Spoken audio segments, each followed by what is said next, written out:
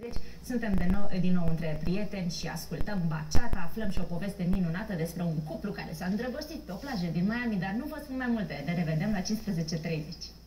Între prieteni uh, și vom uh, sta de vorbă cu Cristian Vladimir Ciobanu, traversăm oceanul, ajungem uh, până acolo acasă la el în SUA pentru a povesti despre cel mai nou, recent și minunat videoclip ce include o poveste de dragoste frumoasă, baciata, niște ritmuri foarte, foarte latino, așa caliente. Îi spun bun venit, este în direct cu noi prin Skype. Bună dimineața la mine, ziua bună la voi. Și uite că ați traversat oceanul. Uite așa, într-o clipită am ajuns uh, la dumneavoastră acasă. De ce dimineață, da? Cam ce oră e acolo? E 8.38, 20. Deci ne bem cafeaua împreună. Sunt încă la cafea. Sunt înconjurat de un arsenal de chitări și mă pregătesc să creez ceva nou. Ce frumos! De-abia aștept să ne povestiți despre cel mai nou uh, videoclip pentru care o poveste frumoasă acolo în spate, o poveste de dragoste și să știți că l-am ascultat, am ascultat piesa și este minunată, de-abia aștept să, să o audă și telespectatorii.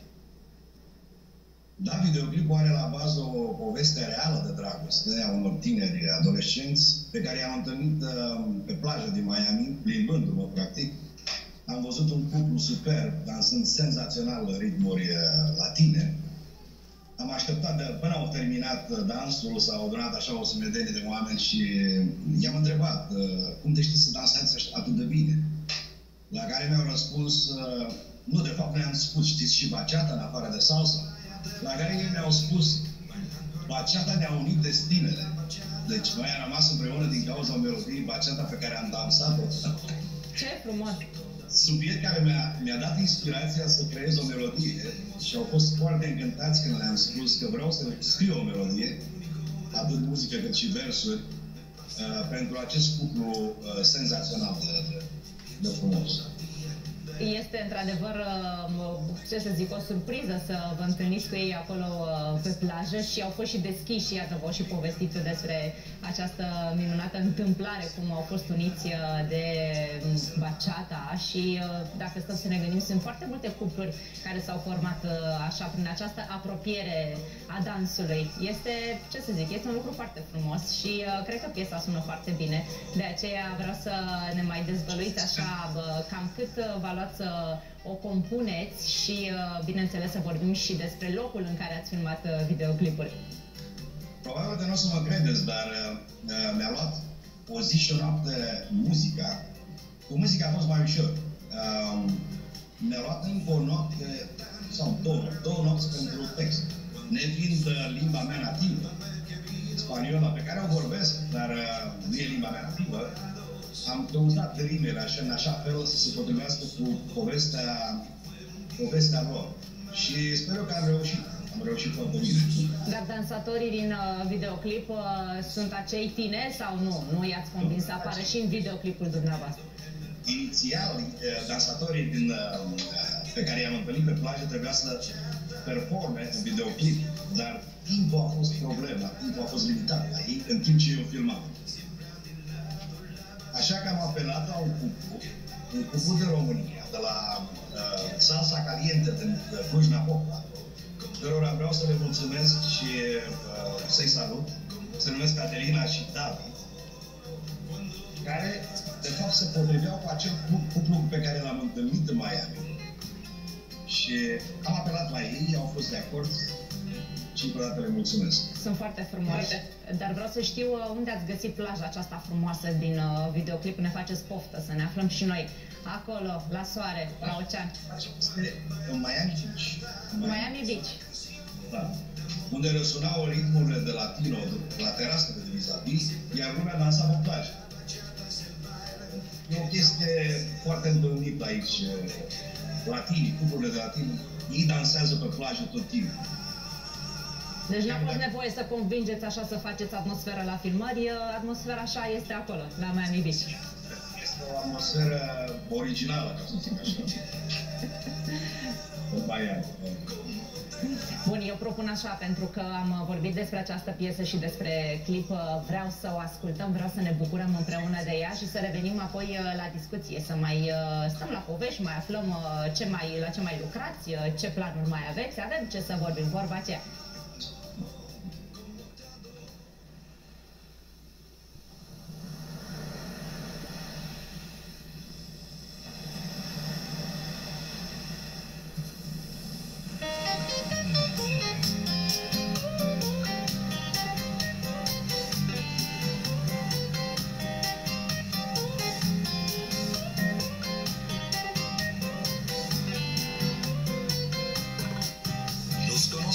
En la playa de Miami, bailando al ritmo único de la bachata. Me fascinabas con un baile y un beso, y pienso todavía de regreso. Nos conocimos en la playa de Miami, bailando al ritmo único de la bachata. Me fascinabas con un baile y un beso, y pienso todavía de regreso. ¿Cómo te quiero cuando bailas bachata? Esta canción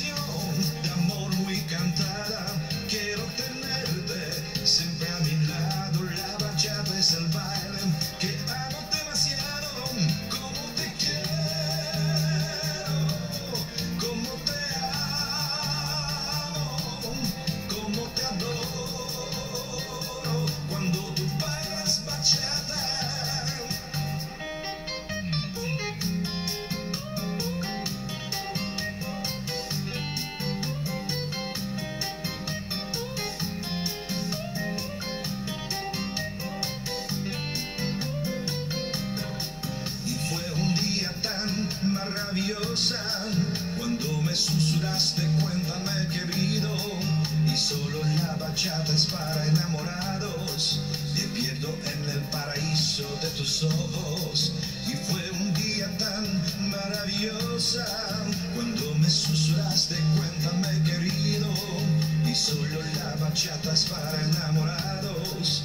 Me pierdo en el paraíso de tus ojos. Como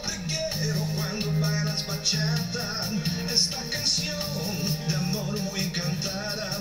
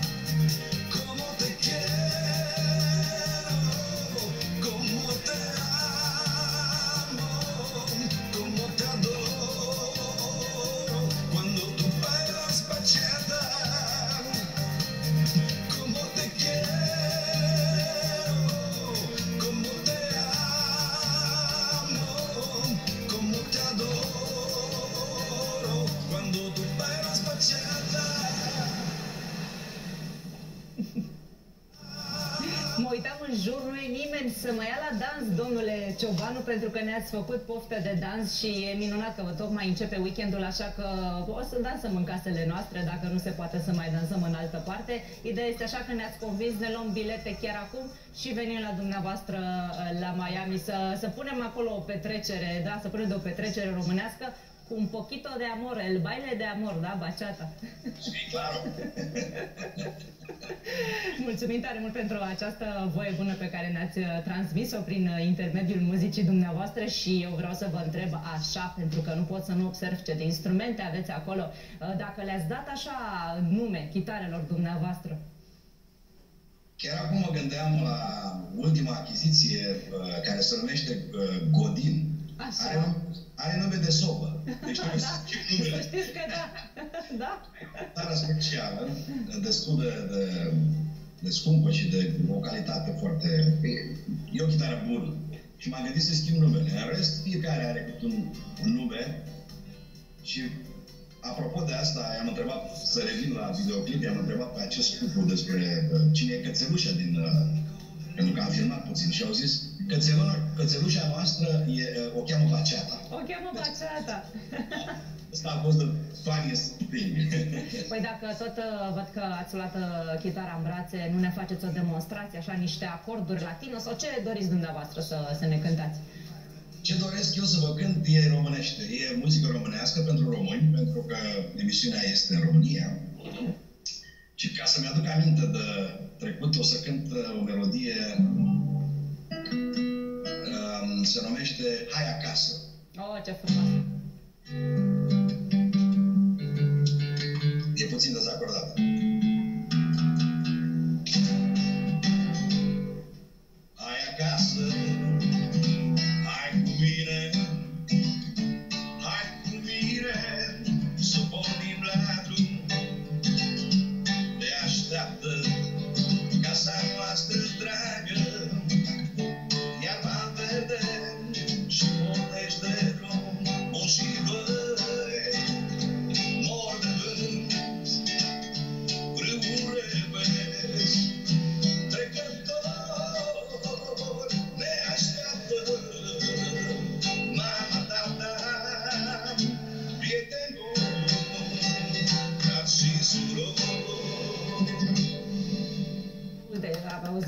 Aplaud, aplaud, aplaud, aplaud aici din uh, platoul între prieteni.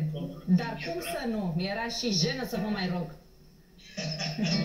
Se numește Viața noastră de e. O melodie veche de Cenacu al lui George Nicolescu pe care eu am îndrăgit-o de un mic copil. Și suna cam așa. După atâta grozămii care mai sunt și înaintea celor ce vor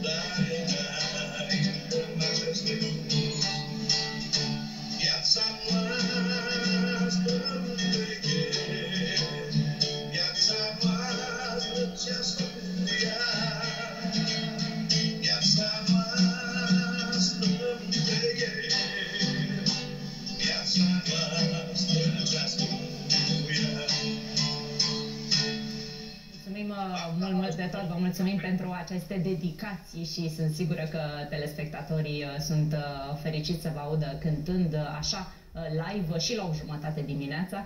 Vreau să știu cum mai este viața dumneavoastră acolo la Miami și uh, la ce mai lucrați, la ce proiecte.